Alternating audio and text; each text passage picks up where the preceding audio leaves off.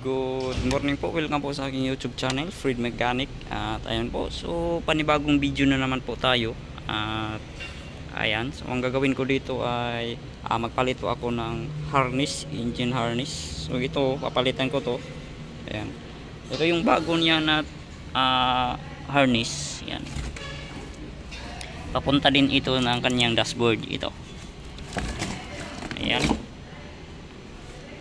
So, ayan po, bakit ko po siya pinapalitan? Kasi uh, mayroon po siyang uh, sunog. Ayan. Para iwas sunog na din, so mas mabuti na papalitan ng uh, buong harness. Okay. Tingnan natin sa ilalim. Ayan. Ayan, ito. Sunog to, kinakagat. So ito, ah uh, Ayan. Papalitan din to. Ayan.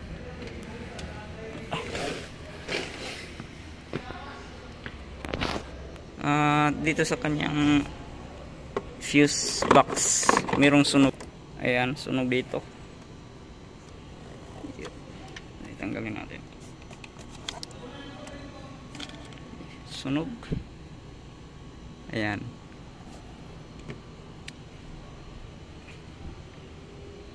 Uh, ayaw umaandar itong kanyang fan motor. Ayaw umaandar.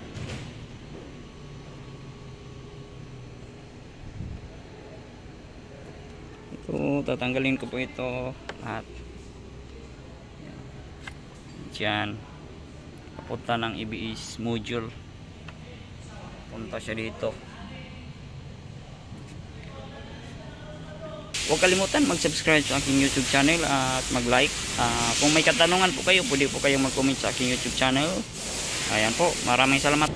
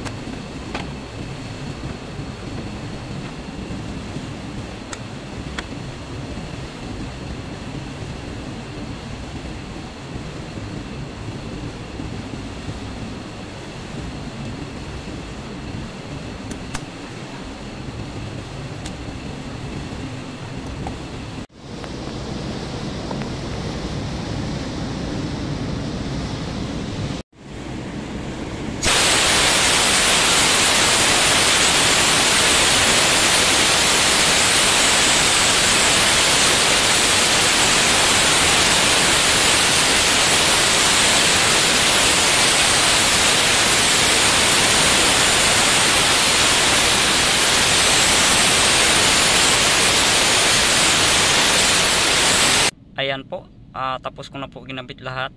Ayan. So papaanda rin na natin. Ayan. Paanda rin natin. Ayan.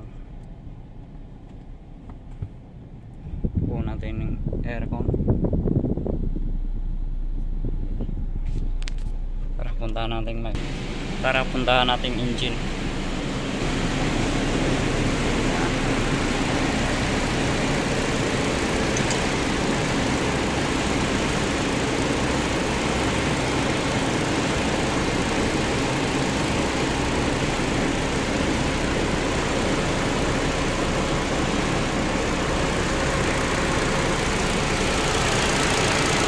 Yan, bago na po yung kanyang span yan nakaanda na po siya.